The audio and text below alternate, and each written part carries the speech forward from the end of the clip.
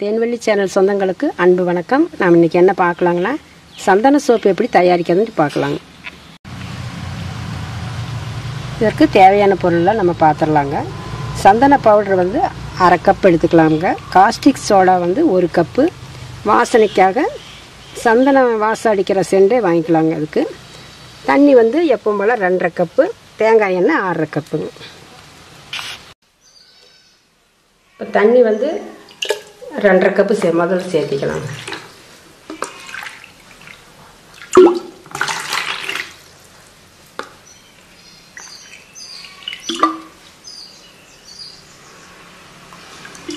தண்ணி ரெண்டரை கப்பு சேர்த்தியாச்சுங்க இப்போ காஸ்டிக் சோடாவை எடுத்து போட்டுடலாம் இப்போ இதில் ஒரு கப்பு வந்து காஸ்டிக் சோடா போட்டுடலாம்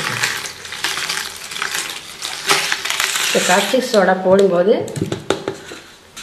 நல்லா ஹீட் எறும்புங்க இந்த பாத்திரம். இது வந்து பிளாஸ்டிக்கில் போட்டுக்குங்க. இதில் ஒரு குச்சி அல்லது சில்வர் கரண்டி வச்சு நம்ம கரைச்சிக்கலாம். காஸ்டிக் சோடாவும் தண்ணியும் நல்லா கூல் ஆயிடுச்சுங்க இப்போ இதில் வந்து தேங்காய் எண்ணெய் சேர்த்திக்கலாங்க ஆறரை கப்பு சேர்த்திக்கலாங்க தேங்காய் எண்ணெய். நம்ம எந்த கப்ப கப்பில் எடுக்கிறோமோ அதே கப்புலேயே ஆறரை கப்புங்க தண்ணி காஸ்டிக் சோடா எல்லாமே ஒரே கப்லேயே அளந்துக்கணும்.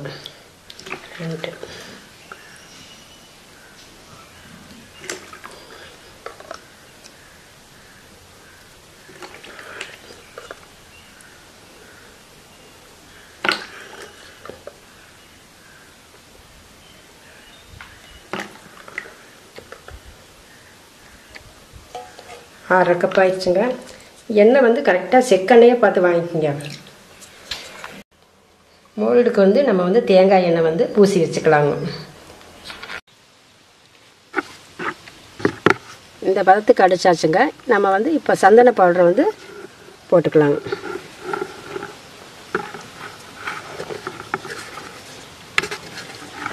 அரை கப்பு போட்டாலே போதுங்க. ஒரு கப்பு போட்டோம்னா சோப்பு கொஞ்சம் கெட்டித்தன்மை கொடுக்குங்க. கட்டி இல்லாமல் நல்லா கரைச்சிக்கலாங்க. இப்போ வந்து நம்மளுக்கு கரெக்டான பக்குவத்துக்கு வந்துருச்சுங்க. இனி வந்து மோலில் வந்து ஊற்றி வச்சுக்கலாங்க.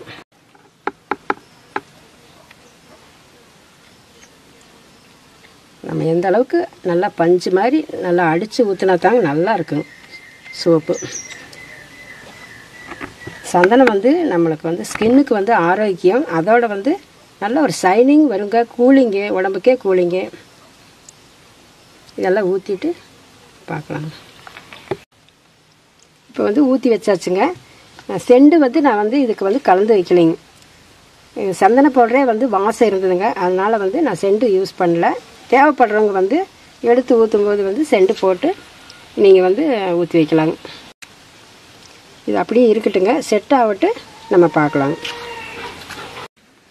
செட் ஆயிடுச்சு நம்ம எடுத்துக்கலாம்.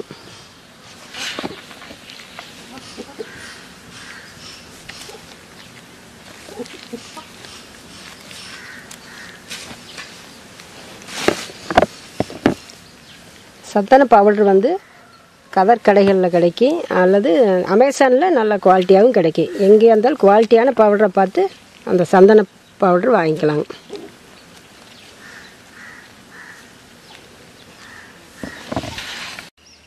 நம்மளுக்கு பக்குவமான பதத்தில் வந்துருச்சுங்க. முப்பது நாள் உலர் காய்ச்சல் போட்டு நம்ம சிறியவங்க பெரியவங்க எல்லாருமே யூஸ் பண்ணிக்கலாங்க அடுத்த எபிசோடில் நம்ம சந்திக்கலாம். நன்றி வணக்கம்.